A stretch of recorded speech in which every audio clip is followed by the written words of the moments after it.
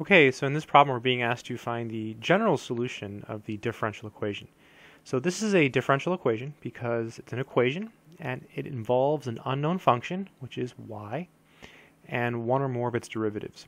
So the solution to the differential equation is the actual function y. So we have to find y basically. So we have the derivative of y is equal to all of this stuff. So if we integrate both sides, we should get y. If you integrate the derivative, you just get y. If you integrate this, well, you just get the integral of that. So that's the idea in these problems. Whenever you have these, these differential equations like this, basically you just integrate both sides. These are easier ones. And then you just get the answer.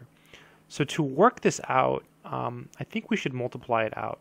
So there is a formula. If you have a plus b squared, this is equal to the first one squared then you multiply the a and the b and you double them, and then you square the last one. So here, we'll do just that. So we'll square the e to the x. So we'll get e to the x squared. So I'll go ahead and write it like that. e to the x squared. And then the 3 and the e multiplied times 2. So 6 e to the x, right, 2ab plus 3 squared is 9. And I, I, purposely left this first piece unsimplified because to do this, you just multiply the 2 in the x. So it's e to the 2x plus 6e to the x plus 9. This type of simplification comes up a lot actually in uh, differential equations. If you ever study differential equations, you'll get a lot of stuff like this with e's and you'll get a lot of stuff like this. Again, you just multiply the 2 in the x. Okay, so now we have to integrate each piece. So when you integrate e to the 2x, you just divide by 2, and I'll explain why in a minute. So it's just e to the 2x over 2. Here the integral of e to the x is e to the x, so this is 6e to the x. And then when you integrate 9, you just get 9x. And that's it, plus c.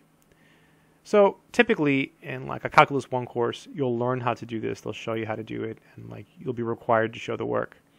So if you have something like this, um, you just divide by the 2. Why? Well, if you let u equal 2x, then um, du is 2dx, and then you could divide by 2 to make it match your integral.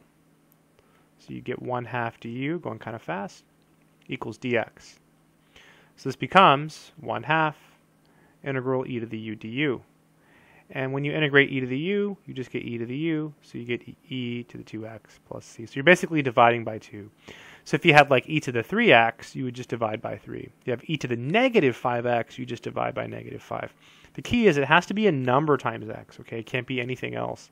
Uh, really, really useful and powerful technique. So um, I hope this video has been helpful in some way.